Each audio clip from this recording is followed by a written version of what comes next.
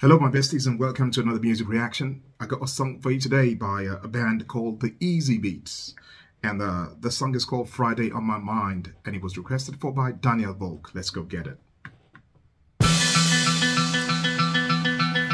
Monday morning feels so bad. Everybody seems to nag me. Coming Tuesday, I feel better. Even my old man looks good. Wednesday just don't go.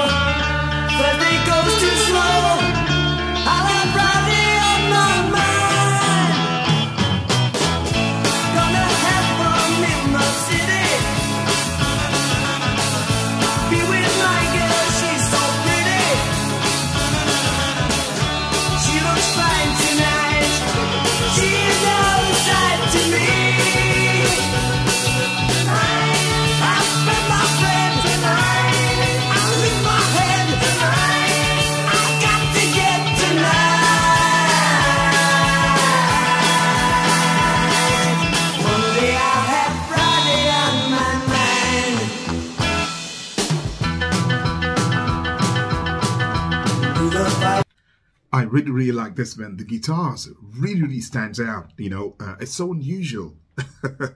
I really, really like it. And the track is so bright and so bouncy. And um, this was 1966. So I think this must have been like so fresh and so different when it came out then, you know, because even now I can hear that it sounds a lot different to a lot of songs that I know from the 60s. It's, it's just a magical song. I, I really, really like it. And it's got this happy vibe about it as well.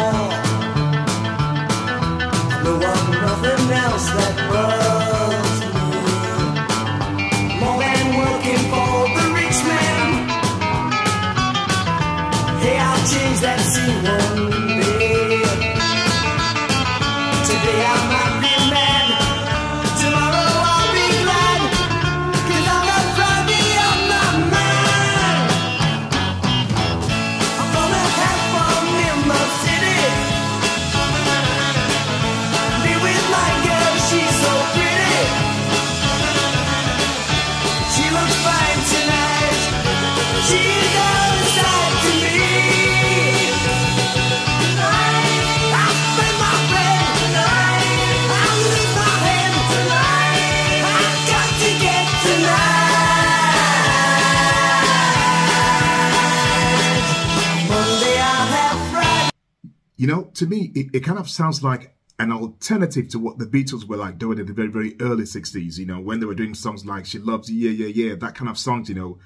This is like the alternative to it. It's like it's the it's the grittier version of it. That's what it sounds like to me. It's it's just perfect pop, you know, music, or shall I say maybe pop rock music, you know. I really, really like this. It's um, you know, it's it's so vibrant, so band, so beautiful.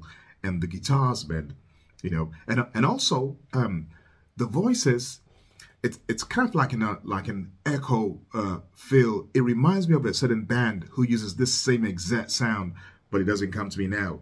Uh, these guys, by the way, are like Australians. Uh, I'm surprised at, at, that as well. You know, it doesn't sound like an Australian band. Um, I, well, I don't know. Uh, Australian bands, to me, usually have like um this unusual. Well, this is unusual as well for the time. So yeah, so maybe it is Australian. the Australians are always so creative, you know, they always like do things that stands out, you know, and, and like I said, I'm sure that in the 60s, they stood out, you know, because the sound, the guitars, so unusual, so unusual, uh, beautiful stuff. Monday I'll have Friday on my